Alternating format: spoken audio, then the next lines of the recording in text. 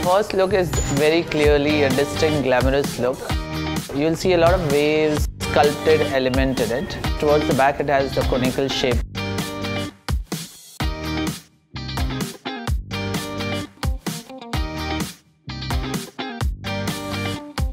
This is one of the most uh, modernized, futuristic look. In the front you'll see a lot of neat, curvy texture. Little element of texture and frizz behind.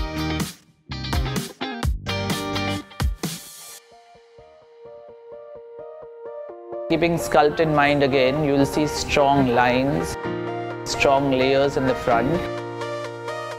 Color incorporated in this is inspired by Marsala, which is one of the most in-trend color. It is a combination of red and brown and it looks beautiful with Indian skin tone.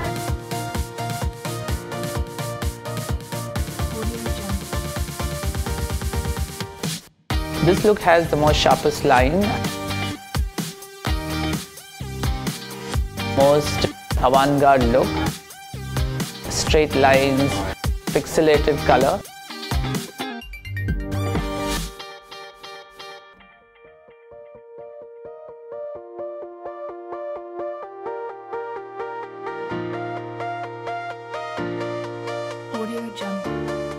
First look is about a sculpted face look.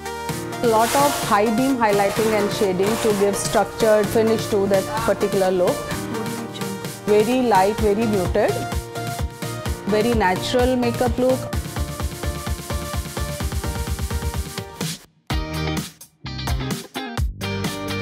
Second look is about sculpted lips. Darker tone to outline the lips. Lighter shade to highlight the lips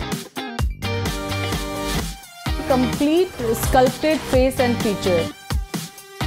All the features has been highlighted at the same time, but there is a nice, beautiful color harmony between each other.